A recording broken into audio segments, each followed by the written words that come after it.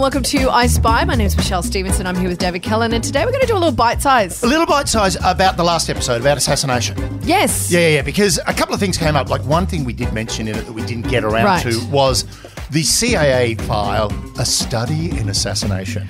Oh, Which wow. is it's Yep. amazing. I found it online. I will post it to at I Spy Podcast on Twitter, so it'll be there if you have a For read all yourself. of those people who are so interested in what David gets up to in his little, Little- blanket fort, No, we trust- we are literally giving you access. It's an all access area. all access area. You're getting your all access. No, this is an amazing little. Is file. it? Because basically they've gone through. It was declassified in 1997, Hmm. and essentially it was the handbook that they were using during Yeah. uh, two operations: PB Fortune and PB Success, Yeah. which were the attempted coups that they had in Guatemala.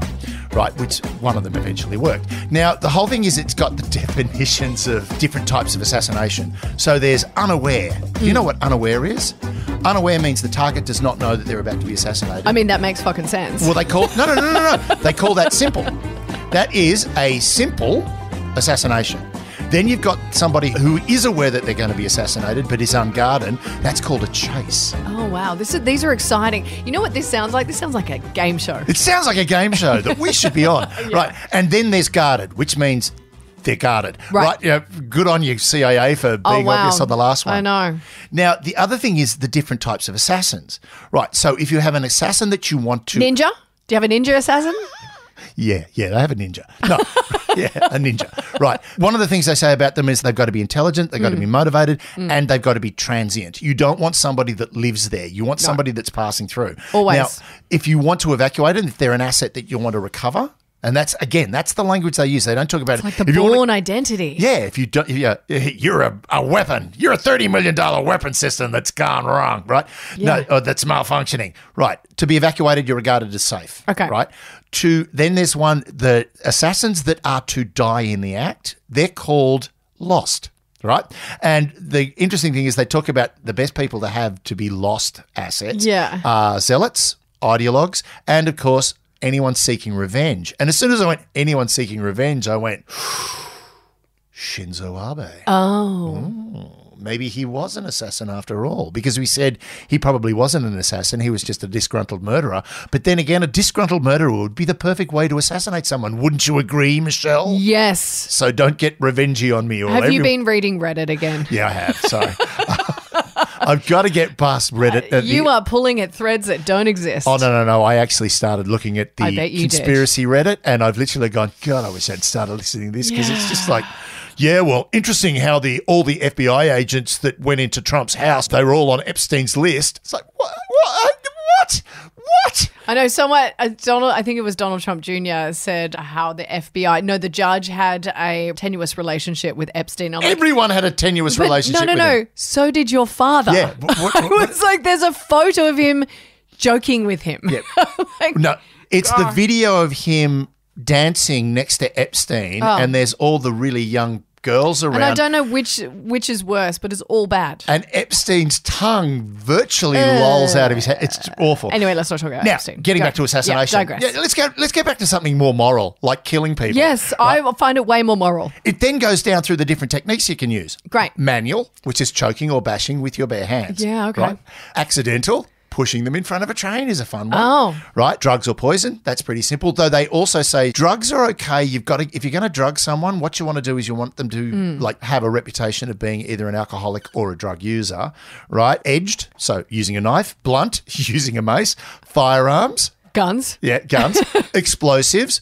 Uh, and of course, as we Hmm. said with guns, what is the most effective weapon to use and the most successful weapon used Pistol. as a gun? Pistol from arm's length. Yes. Right? And explosives, yeah, they're really tricky. Like explosives get and I feel like that you don't really want to take that route. essentially with explosives, the biggest problem is how do you trigger them? Yes. And that's why And other people can get caught up in the. other people get caught. Yeah. Well, that's that's if you want collateral damage as well. Mm. Um, the other thing with explosives is they basically say the best way to do it is to be Yeah. holding it. Don't throw it. And that was an interesting thing. Gavrilo Princip, when he assassinated the Archduke Ferdinand, the first attempt on the Archduke was a bomb that was thrown at the car and basically Fell was, off it? was no, it was battered away, and it's they reenact it in The Kingsman, Right. which is a great film. It's by a the way. great oh my god, that's so so so good. in go- gory though. Like there's a Oh, lot. my it's like it's intense. Oh, that halfway bit in the, The violence. halfway through. Oh man, that you know, my wife actually turned around and went, "This movie's terrible. I love it."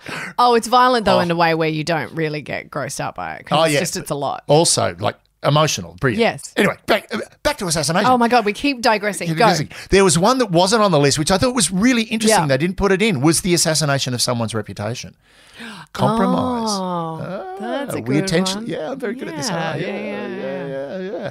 I'm actually doing an interview about honey traps uh, with the Australian newspaper later on this week. Oh. Yeah. Oh. Yeah. Oh. Yeah. like I know about honey traps. I know, and I'm like, um, what about me? Yeah. Uh, what do you know about honey traps? Ever been in one? Not as much as you. They're very sticky. Yeah. You feel dirty afterwards. Funnily enough, I attract a lot of ants afterwards. Anyway. Um, yes. And now- bears. Lots of bears. The other thing that came out that's really interesting was, of course, digging into this file. And this isn't part of the file, but one of the things that's come out is how the CIA are now getting their workarounds from the executive orders, you know, 11905, the ones banning them from assassination. And the interesting thing is there was a study done where they've gone, the CIA have basically come up with a couple of workarounds. One is contractors. So they were getting people like Blackwater, you know, the Yes. security guys. They were getting, They use them for the war as well. oh, well, they were using them in, Yeah. um, in Iraq quite a lot. But well, they, we have contract. We use contractors as well. yeah, not to that extent. Mm. Right. The other thing was they were third party, so either local resistance units Mm. Yep. or organised crime. Yeah. They're all they're always you will entitled get you will get out of jail if you kill this person. But the big one is a thing called JSOC. Ever heard of JSOC? No, what's a JSOC? JSOC, they're really comfortable in winter. Slightly thick. No, no, the JSOC is the Joint Special Operations Command. yeah, right. Which- So it's the United States Special Ops Overgroup. It includes the Navy SEALs, Yep. or as they like to call themselves now, DevGRU. That includes the Delta Force, which is the Army, Air Force, Special Operations, and a few other bits and pieces. Right. Now, the interesting thing is what the CIA do now, if they want someone whacked, and Al Zawahiri is a great example of that, the CIA sit there and they go, here's all the intelligence we know. There's a great photo of Joe Biden sitting at the table just well, giving Yeah. approval for it with the little box, the Yep. wooden box on the table. That was the scale model of the house Wow. right? It came in a little box and everything. How cool is that? Right. So basically, what they do is they go, This is all the intelligence. Yep. This is how we think you should take him out. JSOC, and they hand it over to the military. And the military go, yeah, okay, let's take this to the president. Like the president, the CIA, and JSOC sit around. They go, yeah, do it, right? Or it would be, it was, Joe, Joe, Joe, wake up. Wait, wait. And he'd wake up and then he'd be like, because he's always got COVID. yeah, puts on his really cool Ray Bans and goes, go for it. Tries tries to put on his jacket but can't. Puts Have you seen that vision? Yeah. He's like, uh, points his points his finger and goes, and America, this is why you never, ever, ever vote in elderly people. Oh well, I'm sorry. Yeah. Uh, right. So anyway, they do that. JSOC take care of it. Boom. Yep. The interesting point, and this is why this little relationship between the CIA and JSOC are brilliant. The CIA answer to the Intelligence Oversight Committee in Congress. Right. JSOC do not. JSOC answer to the Military Oversight Committee in Congress. The Intelligence Committee and the Military Committee do not share intelligence. Wow. So basically, the CIA go, yeah, well, you know, he was a really bad guy, and we had to take him out and because they always smoke. Spies always smoke, you know, All right. Why does he sound like a like an old? because they all are. no, right. No, he sounds like that. You know, like one of those old school kind of like. Let me tell you about it. I'm gonna, Yeah, I'm gonna make you enough you can't refuse. Oh yeah. Now he's Marlon Brando. That's right. Like what's going on? they, they all are. They're all Marlon Brando. Okay, great. Right then, you know, did you assassinate him? We did assassinate him. No, sir, we did not assassinate him. They were taken out in a military exercise, sir. Right, because that's how all military people talk. So this is You the can't handle the truth. you can't handle this assassination. right. So that's the really Right. interesting thing. Yep. One other thing that came in, and it was from one of our listeners, from Martin Murray. Uh, Yep. Thanks for listening, Martin, and thanks for passing it to us. First time listener. At iSpy Podcast. Yep. Right. About drone pilots. Okay. Drone pilots are suffering terribly at the moment from what they call sniper syndrome I'm so sad for or a moral injury. Oh, does, are their thumbs hurting? No, this is the thing. Everyone sort of went, if they're drone pilots, they, it, it's fine. They can Mm. kill people at range and it won't bother them. Snipers suffer from a real problem when they shoot somebody Yep. from a long distance.